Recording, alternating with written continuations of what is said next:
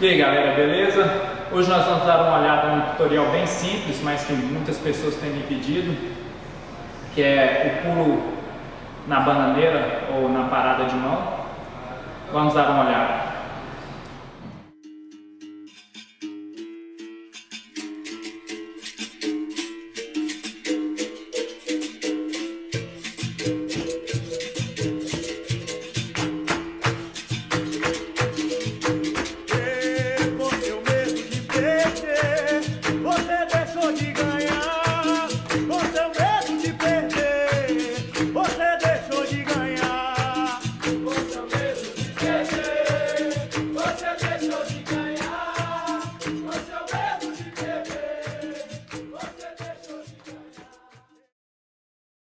E aí galera, agora que vocês deram uma olhada no vídeo, preste muita atenção na posição das mãos, no ângulo que eu estou chutando a perna e os braços, que vai te ajudar ainda mais na hora que vocês forem fazer o movimento. Quebrar o movimento em algumas partes para facilitar, mas esse movimento é bem simples. Depois que vocês entenderem esses, esses pontos básicos, é só tentar e ir praticando. Antes da gente começar, é importante que vocês estejam confortáveis na posição da bananeira, porque você não vai precisar parar lá, então, por, é, segurar na bananeira, mas é importante que vocês estejam confortáveis fica, é, entrar nessa posição.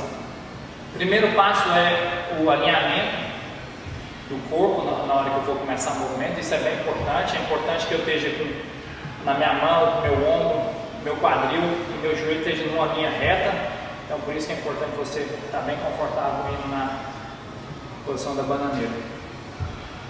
A posição da minha perna, ela vai dobrar dessa forma aqui, se eu estiver fazendo uh, o pulo normal mesmo, então ela vai dobrar aqui, porque muitas vezes, muitas vezes as pessoas trazem o joelho para frente, em vez de dobrar aqui. Então cada vez que eu pular, eu vou fazendo esse movimento. Segundo passo, a posição da cabeça, não deve influenciar muito no movimento, mas é importante, se estiver jogando capoeira, você estiver na roda, que vocês estejam olhando para frente, para estar tá sempre é, vendo onde você está indo e olhando a pessoa que você estiver jogando. O terceiro passo é o tempo que eu estiver indo de um pulo para o outro, isso é bem importante.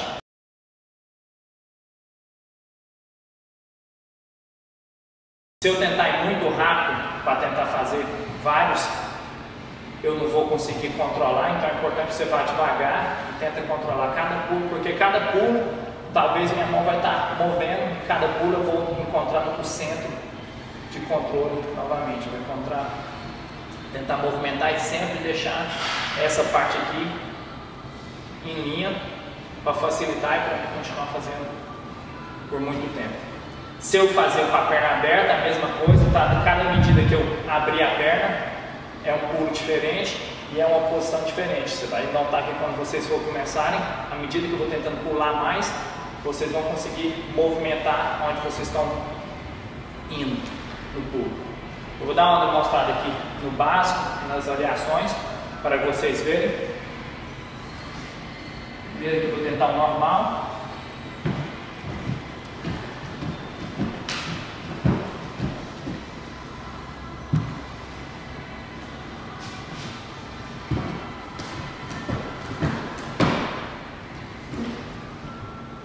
e abrindo a perna.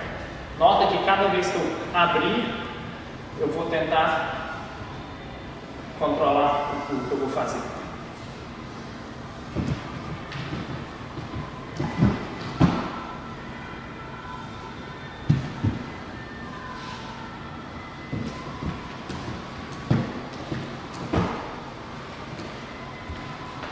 E você tem várias variações, não precisa abrir sim, abre assim, fica ao seu, ao seu critério, ao seu gosto. E aí galera, esse foi o tutorial do pulo na bananeira ou na parada de mão, espero que tenham gostado, tenha ajudado. Dê uma olhadinha nos outros vídeos também no meu canal do YouTube, façam seus comentários, seus pedidos e logo logo também meu DVD vai estar saindo com muito mais variações, muito mais opções também para vocês olharem.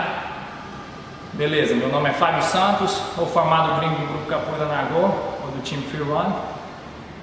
Até mais, valeu!